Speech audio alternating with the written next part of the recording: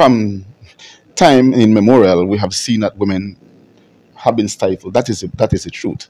And when I became commissioner of police, I said that you know we have to be fair to the women because uh, sometimes we look at the women as only persons who can do secretarial work. Um, um, the, the, the boss want a cup of coffee, give me a coffee. Uh, the place need to be swept, sweep the place. You know, that's not the role of a woman in law enforcement. When a woman decides to join police, she decided to be a law enforcement officer, not a domestic worker. So we have to ensure that within the works, workspace, we make that clear distinction that they are women in law enforcement and not domestic workers.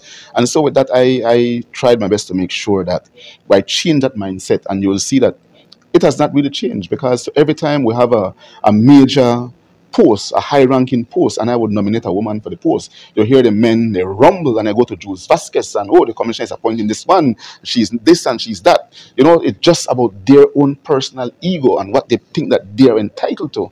And because of that, they fail to realize that the women are right there with them toe to toe, making sure that the task is being done. And so when I nominate a woman for a particular post, it's because I am sure that the woman has the capability. For the first time, we, we had a woman as a head of special branch. That was Miss Borden. And uh, as much as there was so many rumble when she took over, oh, she had no special branch experience, she's this, she's that, all sort of things. Miss Borden went to special branch and she performed exceptional as head special branch. So we see where women are excelling. Miss Augustine, who is the head of um, Southside Belize City, the most troubling policing area in the country.